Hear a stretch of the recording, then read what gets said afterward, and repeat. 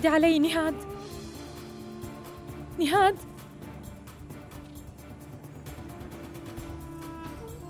بترجاكي ردي علي.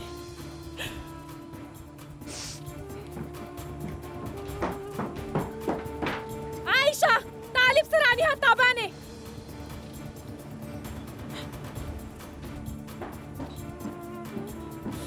نهاد مشان الله ردي علي. ست نسيم. خير شو بهالست نهاد؟ يمكن انتحرت أنا رح أطلب لها الإسعاف تعي حبيبتي.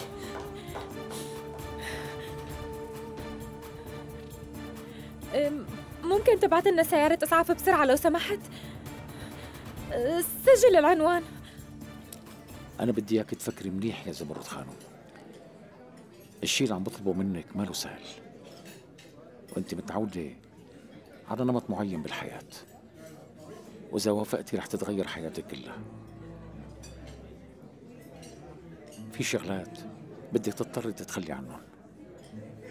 أبسط شغلة إنه ما عاد في سياحة لأوروبا. وإذا حبيتي تشتري غرض وكان غالي ممكن ما تشتريه. المجوهرات وكمان الجمعيات الخيرية. والمطاعم الغالية اللي تعودتي تأدي فيها على طول. كل هالأشياء رح تتخلي عنها إذا ضليتي معي. وبجوز كمان لا بحياتي ولا بمماتي ينوبك شي من ثروتي.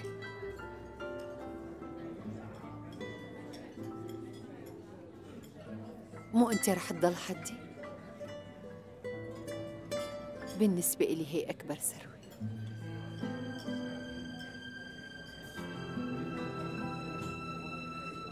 حكيك هاد زمرد بخليني أحس قديش أنا محظوظ.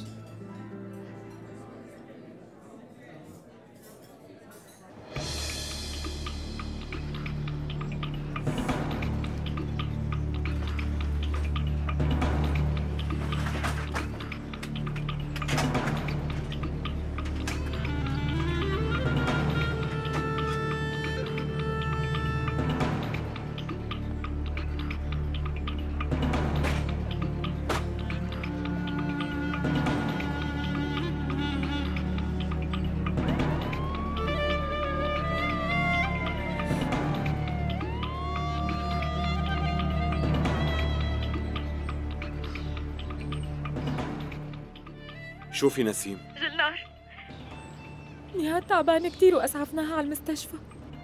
أسعفتوها؟ شو صار لها؟ فتت لقيتها أخذ كتير حبوب. انتحرت. كيف؟ لك أنت شو عم تحكي نسيم؟ وينك هلأ؟ عانو مشفى. لك منتبه كيف عم تتصرف؟ ها؟ عم تخوني وبدك ياني يكون رايقه وما أحكي شيء بدك تقعد بالبيت غصبا عنك. لأنه ما بيصير تعمل اللي بدك إياه وتمشي وتتركنا مشان نتبهدل أنا والولاد بالأخير. منتبهة كيف عم تحكي؟ أصلا هذا هو السبب اللي بخليني أتركك وأمشي. لك أنت مين مفكر حالك لتعاملني بهالطريقة؟ باللحظة اللي بتطلع فيها من هالباب رح تخسر كل شيء ابتداء من الكريدت كارت. لأنه كل شيء بتملكه حضرتك إلي وبدك ترجعه بس تروح. أنت ولا شيء بلاي ولا شيء عم تسمعني؟ ولا شيء. بس كل شيء له ثمن بالحياة. وانت رح تدفع ثمن غلطتك هي. بدك تضل بالبيت مشان ابنك.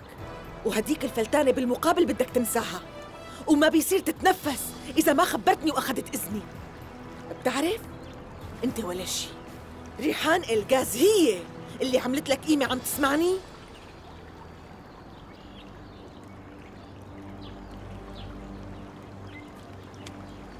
خدي. أنا مستعد أدفع ثمن حريتي بس اطلعي من حياتي عندي استعداد أعيش بالشارع وأشتغل وين ما كان بدل عيشة الذل هي اللي عم تعيشيني إياها هم. وهي كريدت كارد تبع الشركة تعطيها لأخوكي بالمرة خبريه إنه أنا استقلت لك شو هاد أنت جنيت؟ استنى شوي لوين رايح؟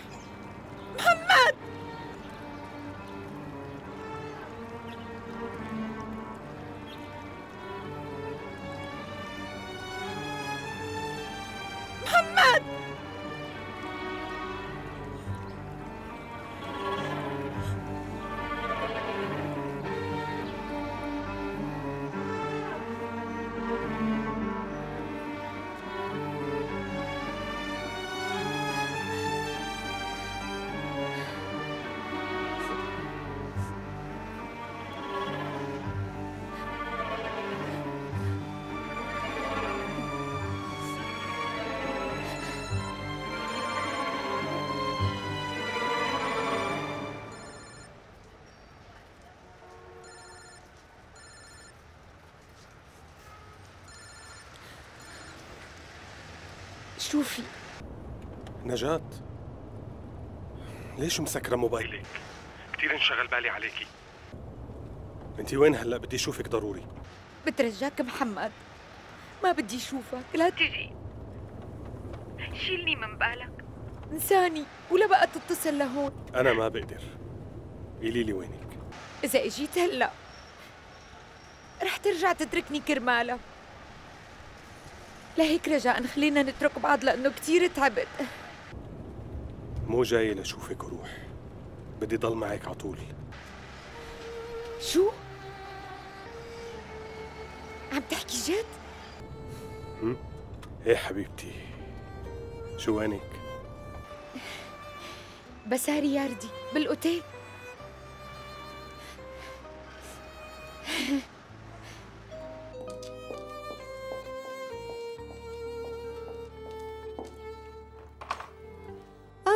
إقبال خانم مروة.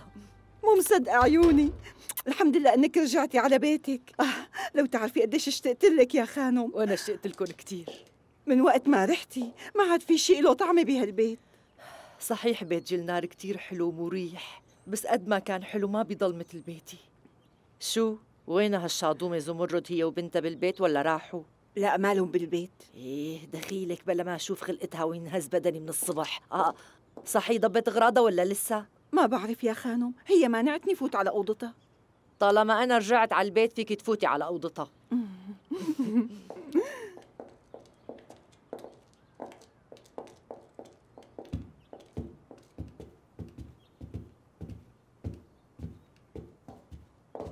وهالفلتانة بنتها كيفها؟ مبين عليها الحمل شي؟ مو مبين عليها شي بالمرة أصلا لو ما حكت إنها حامل مستحيل تعرفي لحالك بطنها ملزق بظهرها وما زاد عليها ولا غرام. إيه طبعا لأنه الخانم ما بتاكل شي مشان تضل سمباتيك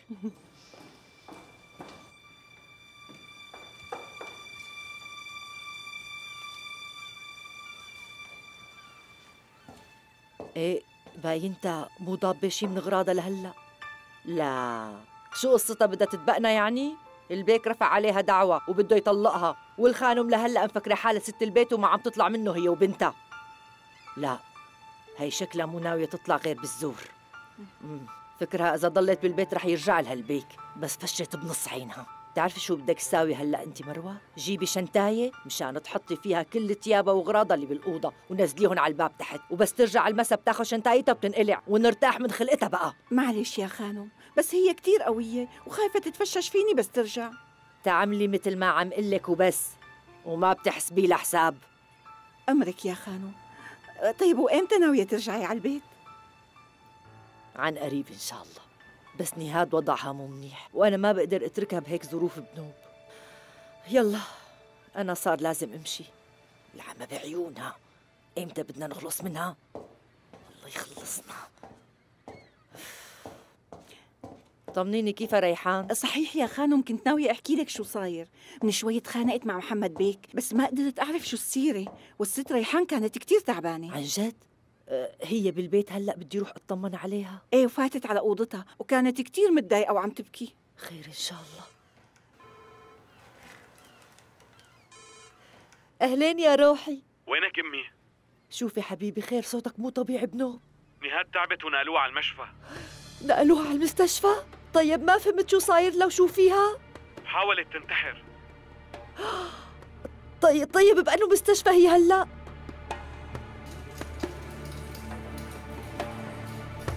أخذت كمية كتير كبيرة من الحبوب لهيك نزل ضغطها دكتور.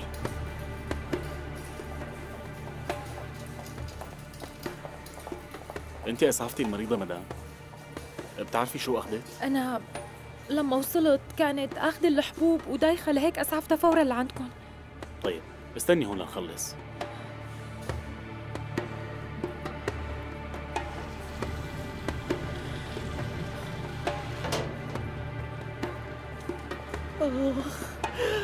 كل الحق علي يا مروة. ما كان لازم أتركها لحالها. ليش إجيت لهون يا ربي؟ دخيلك.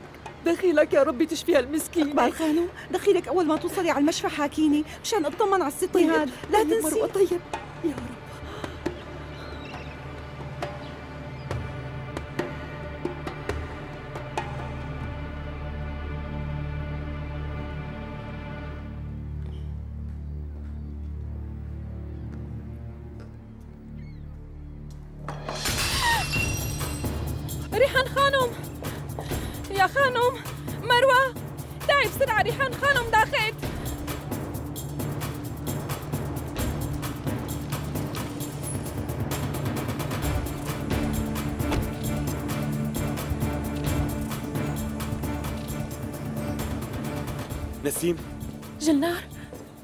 وين نهاد؟ أخذوها لجوا من شوي. جلنار وحياتك أنا ما دخلني بنوب. لما وصلت لهنيك كنت رايحة مشان شوف ليلى. فتت لجوا ولقيتها مسطحة على التخت وباب اوضتها مفتوح. على بالأدوية حواليها قمت اتصلت بالإسعاف فورا وبعدين اتصلت فيك. ما رح يفوتوك لجوا. ما عم بيفوتوا حدا.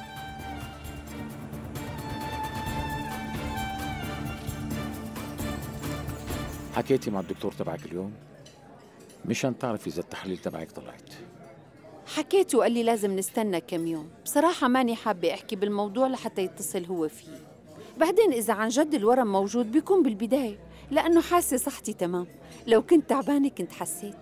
الحق معك. إذا في شيء اصحك تتضايقي بتخافي لأنه الطب تطور كتير وأنا متأكد إنك رح تطيبي. مزبوط وأنا مشان هيك بدي شوف كذا دكتور. وعم فكر كمان إنه نسافر على أمريكا. بتعرف؟ الطب عندهم غير شكل وإذا كان الورم لسه بأوله أكيد رح يقدروا يعالجوه. وأكرم كمان هنيك وأكيد رح يساعدنا بالموضوع ورح يدلنا على دكتور منيح. معك حق.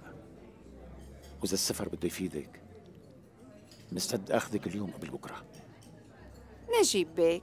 ممكن ما نحكي بهالسيرة هلا؟ اليوم خلينا نحتفل وبس لا تاكل هم. أنا منيحة وما رح يصير لي شي.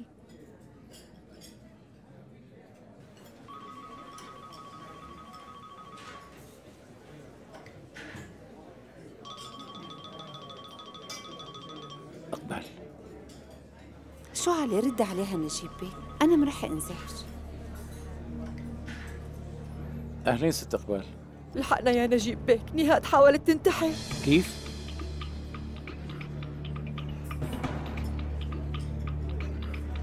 شو مروة نتصل بالدكتور تبعنا؟ ولا نخبر نجيب بيك؟ ولا شو رأيك ندق لمحمد لا بيك؟ تدقي له أصلا من شوي كانوا عم يتخانقوا بالجنينة. بجوز مشان هيك غوطنت لا تتصلي بحدا. بس جيبوا لي كاسة مي. حاضر مثل ما بدك يا خانم. ريحان خانم مو لازم نتصل بالدكتور تبعك انت هلا حامل وبجوز الولد يصير له شيء لا سمح الله. مروة أنا منيحة. طيب ما رح اتصل بس على القليله خليني أخبر محمد بيك. إذا دري إنك تعبتي رح يعصب علي لأنه ما اتصلت فيه. كم مرة بدي فهمك إنه لا تتصلي بحدا. وإذا عرفت إنك خبرتي أخي ولا جبتي له سيرة وقتها كتير رح أعصب وبيجوز قلعك عم تسمعي؟ بقلعك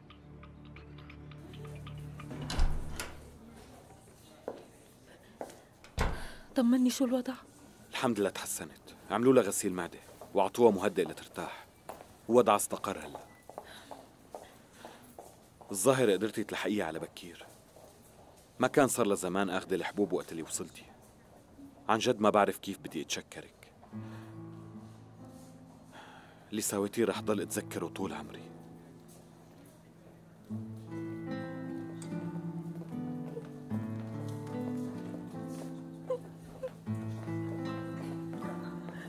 خلص اهدي. بعرف إنك ارتعبتي كثير ابني طمني كيف نهاد إن شاء الله هي بخير. نهاد منيحة وهلأ طمني الدكتور. لازم نتشكر نسيم لأنه أسعفتها على المشفى بسرعة.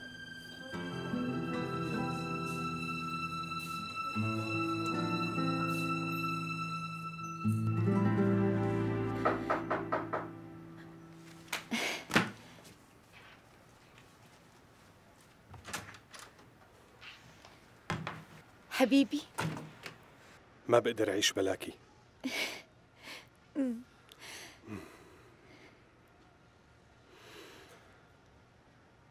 أنت الوحيدة اللي حبيتها من قلبي وما عندي استعداد أخسرك لو شو ما صار.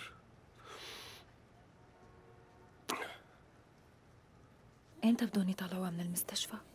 الدكتور رح يخليها تحت المراقبة 24 ساعة ورح نطلعها بكرة الصبح. إن شاء الله. طيب جلنار إذا ما عاد بدك مني شي تاني خليني أرجع على البيت. شكرا نسيم.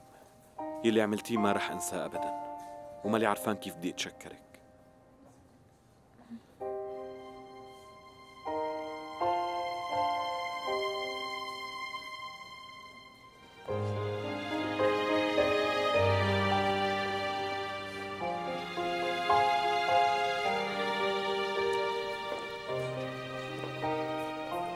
طمني يا ابني شو اجيت نجيب بيك؟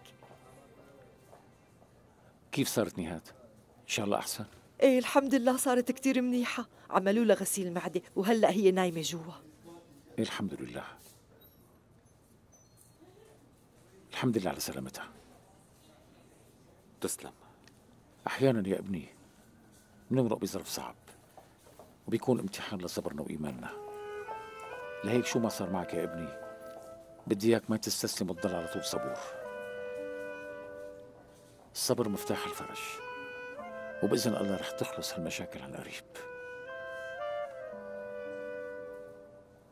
إن شاء الله.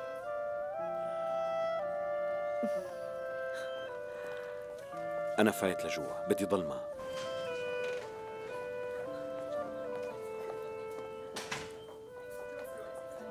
أنت كمان صبور وطول بالك يا نجيب. ما لازم تيأس أبدا وبإذن الله عن قريب رح يحن قلبه عليك. جلنار قلبه كتير طيب ومستحيل يضل متضايق منك. إذا صار شيء وقتها رح كون أسعد أب.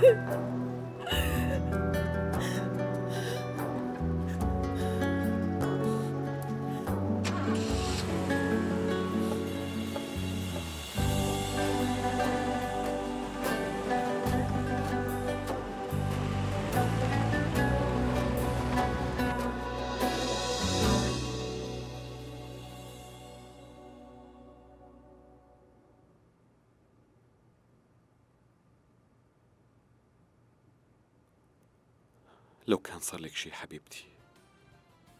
كنت رح موت.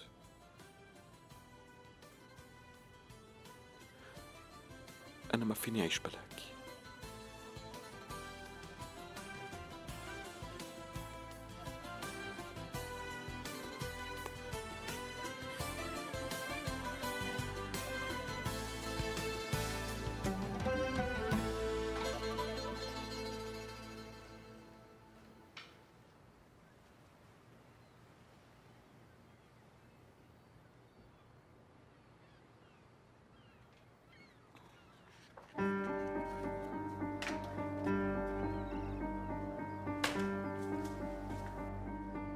شو عم تساوي هون؟ أنا مالي علاقة صدقيني يا خانم بتعرفيني أنا عبد مأمور وشغلتي نفذ أوامركم كيف بتسمحي لحالك تمدي إيدك على أوعية؟ مين قالك تفوتي على أوضتي؟ يلا بسرعة قولي مين إقبال خانم اليوم مرقت على الفيلا وهي اللي قالت لي ضب لك كل أغراضك قالت لي اليوم أو بكرة رح تتركي الفيلا أنا بدي ضل بهالفيلا لآخر يوم من عمري عم تفهمي؟ بعدين كم مرة بدي أقول لك بهذا البيت أنا الخانم وما رح تمشي غير أوامري مو كل ما اجى حدا بتمشي على كيفه. انقلعي حاضر يا خانم لعمة بعيونها شو وقعها أنا رح فرجيكي مين رح يترك هذا البيت. نرمين نرمين نرمين روحي. وينك ما عم بتبيني من الصبح؟ ليكني رجعت شو القصة؟ إلك عندي خبر بيطير العقل. نهاد خانم حاولت تنتحر اليوم. ونقلوها على المشفى من شوي. بعرف أمي. آه. ومين خبرك؟ لازم تسأليني مين اللي أسعفها. مين أول حدا شافها هيك ونقلها على المستشفى. ما عم بفهم عليكي شو قصدك؟ رح أفهمك. كنت عندها بالبيت وأنا اللي أسعفتها على المستشفى. وليش رحتي لعندها على البيت؟ رحت لحتى أحكي معها شوي. ولما فتت لقيتها أخذة حبوب وفاقدة الوعي. خفت كتير لهيك أسعفتها على المستشفى. برافو عليكي حبيبتي. بس فيكي تفهميني شلون بدك جلنار وعم تعملي كل جهدك ليتركها؟ بتقومي بتروحي بتنقذيها. لسه في عندي شوية ضمير ومشاعر لسه ما صرت مثلك. أوكي أنا بحبه لجلنار ومستعدة أعمل أي شيء من شأنه بس مو لدرجة اترك حدا يموت قدامي.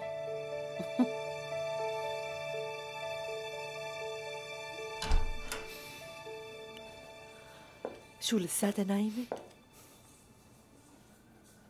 إيه نايمة أمي. والدكتور قال لي بجوز تضل نايمة لبكرة.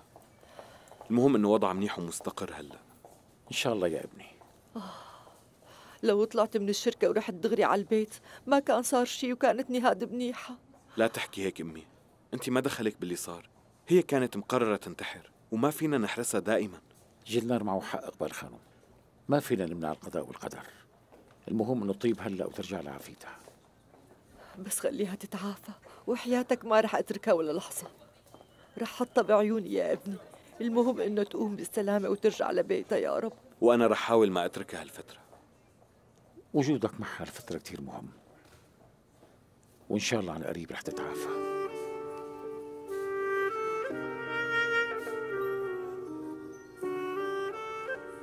وإن شاء الله الأزمة رح تمر على خير.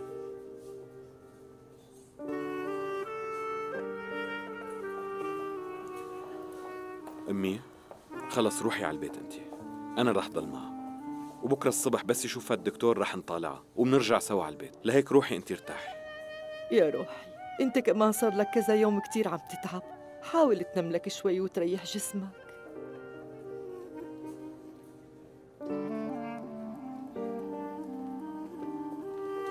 شو ما لزمك يا ابني. وأي شي بيصير معك. اتصل فيني رجاء يلا روحي. ولا تتعبي حالك.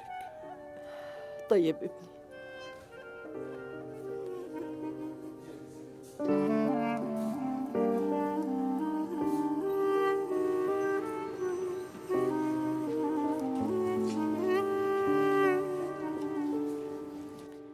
أنا بعرفك نسيم. أوعك تقولي لي إنه ما خطر لك تتركيها مثل ما هي وتديري ظهرك وتمشي. م? أمي فايتة ارتاح شوي.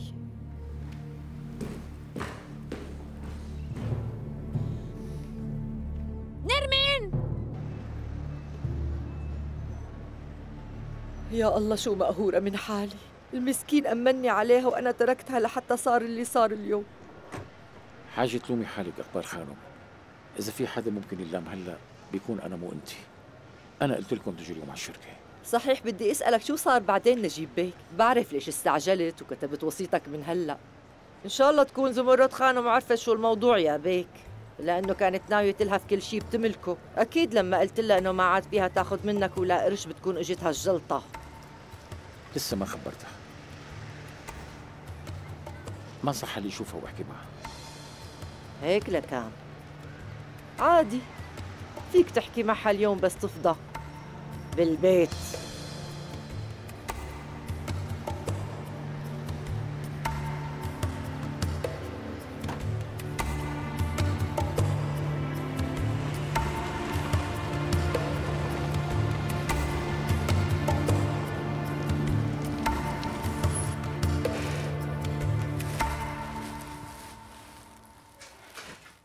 طلعوا التحاليل دكتور. التحاليل اللي عملناها أول بأول كان في كمية كبيرة من الأدوية بالدم. بس بعد ما عملنا غسيل المعدة وعدنا التحاليل كانت النتيجة كتير منيحة. الحمد لله. طبعا وضع النفسي بده معالجة. الواضح لنا إنه مرقت بظروف كتير صعبة. بكرة قبل ما نخرجها رح أبعت للأخصائية النفسية لتشوفها وتحكي معها. طيب. يسلموا كتير. الحمد لله على سلامتها تسلم.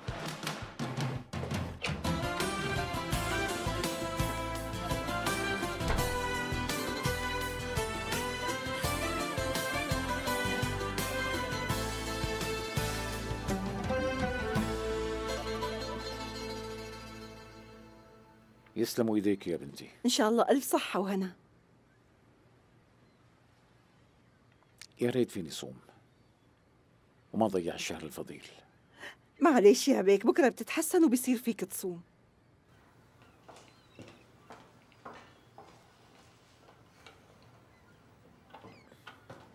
أها.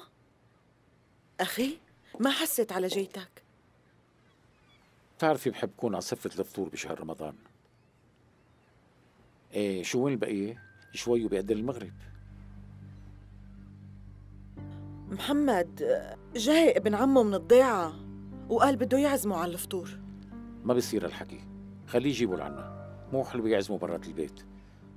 ما كان لازم تخليه يعزموا برا يا ريحان. معك حق أنا قلت له هالشي بس قال لي إنه جايب بنته معه كمان وحابب يفتلها باسطنبول. بيجوز يجيبهم لعنا بعدين.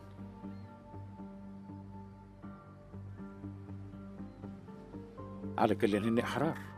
بس إذا بده يجيبون البيت بيتهم. بعدين محمد ما بيجوا عن أهله كتير. لهيك لازم نوجبهم منيح. إيه شو ما رجعت نجاة؟ نجاة؟ آه هي كمان بدها تضل عند رفيقتها هالفترة. شو هاد؟ على القليلة لازم تخبرنا. ما بيصير هيك. هذا بيت مو أوتيل. هي خبرتني بس أنا نسيت لكم والله. طيب خبري البقية مشان ينزلوا نفطر سوا. حتى لو مو صايمين ينزلوا على السفرة. حاضر يا بيك.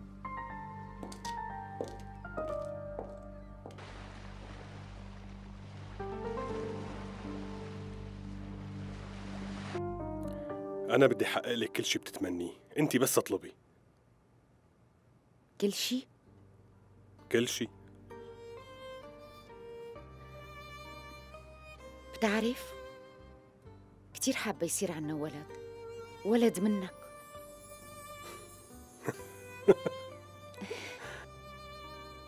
نجاة ما كنت عارفان إنه بدك ولاد. في شغلات كتيرة حابة أقول لك إياهم. بس الولد أهم شغلة.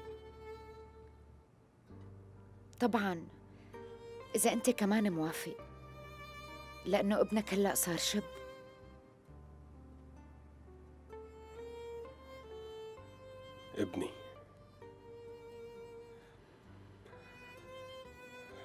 بس أنا متأكد بعد اللي صار اليوم رح تحاول ريحان تبعد الولد عني. شي أكيد تستغل الولد مشان تضغط عليك. وهذا اللي كاسر ظهري. بس شو ما عملت ما رح تخليني أتراجع عن قرار الطلاق. أصلا هالجوازة منتهية من زمان. نجاة حابب عوض معك كل ثانية وكل يوم من عمري.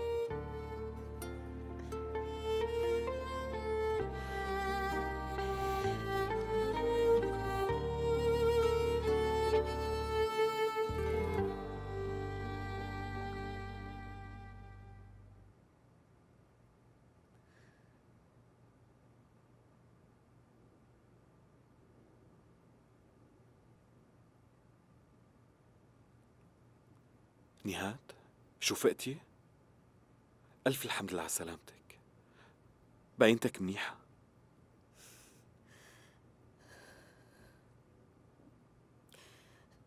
أنا ما بدي صير منيحة جلنار. أنا حابة موت وبس يا ريتك ما أسعفتني. بس مو أنا اللي أسعفتك. نسيم اللي أسعفتك وجابتك على المشفى. لما وصلت شافتك دايخة وشافت علب الحبوب لهيك اتصلت بالإسعاف. منيح اللي قدرت تلحقك. يا ريتها ما أجت وأسعفتني. يا ريتني متت قبل ما تجي. حبيبتي لا تحكي على الموت. بعرف إنك مالك مرتاحة بنوم بس لا تاكلي هم. أنا رح ضل معك وما رح أتركك أبدا وهي الأيام بدها تمرق.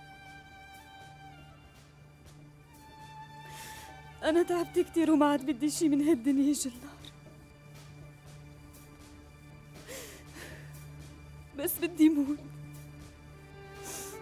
حاسة إنه حياتي حلم حلم فظيع والموت رح يفيقني منه. لا تحكي هيك حبيبتي وحاجة تلومي حالك. بعدين انت ما دخلك باللي صار. ما فينا نغير قدرنا. نهاد انت بنت كتير منيحة. وقلبك كتير طيب. انت بتشبهي الملائكة. لهيك ما فيك تأذي الناس اللي حواليك. اللي عشتيه بهالفترة كتير صعب. بس لازم تتحملي. ليش؟ مشان أتعذب أكثر وأتمنى الموت بكل لحظة. أنا ما عندي ولا سبب يخليني أتعلق بالحياة.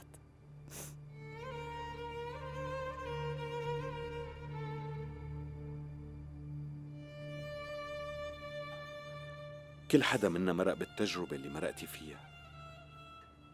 صدقيني. وأنا مرقت بهالظرف الصعب.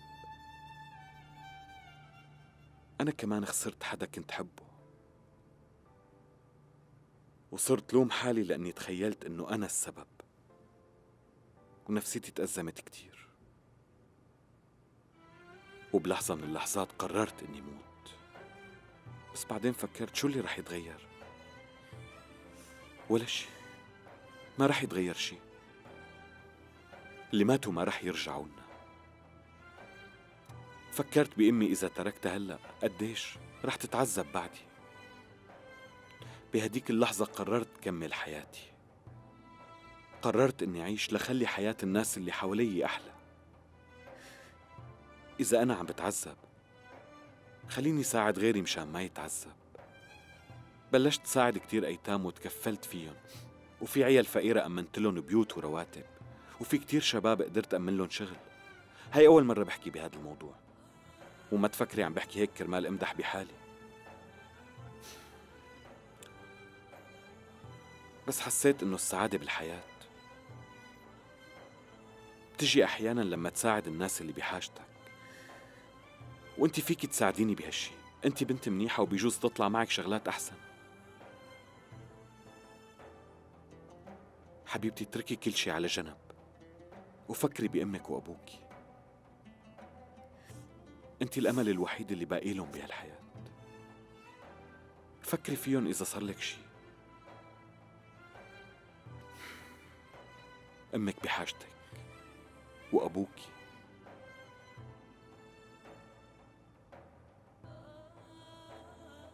وأنا كمان بحاجة لوجودك.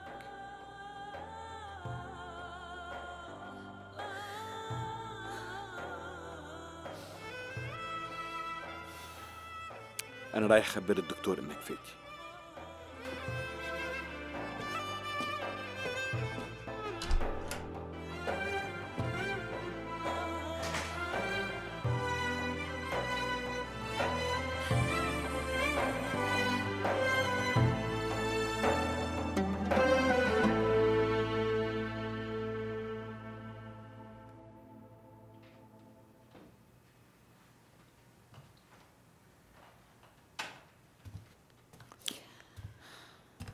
بس الخير زمرد. شو عم تشتغلي؟ يا ريت فيني أشتغل. هالمرض ما عم يخليني أفكر بنوب. كنت آه، عم دور على النت شوي لأعرف شو بده يصير فيني لقدام.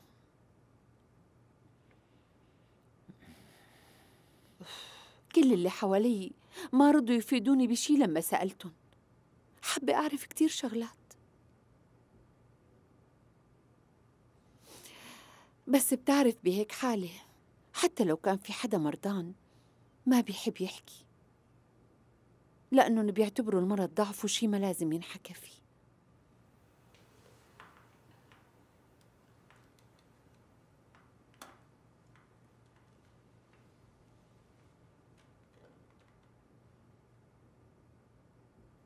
لا تلاقي حالك.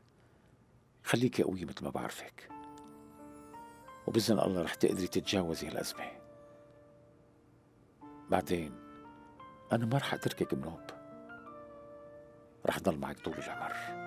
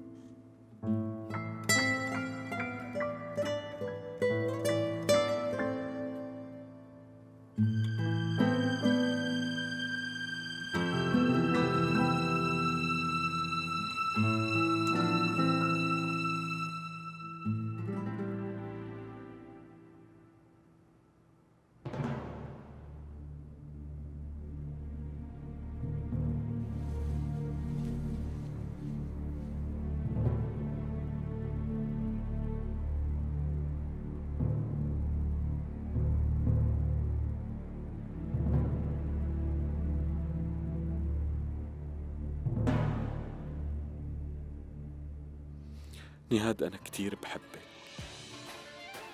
بحبك أكثر من أي حدا حبيته بحياتي.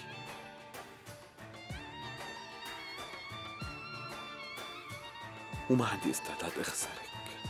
وما رح خلي حدا يفرقنا بيوم من الأيام. شو ما صار.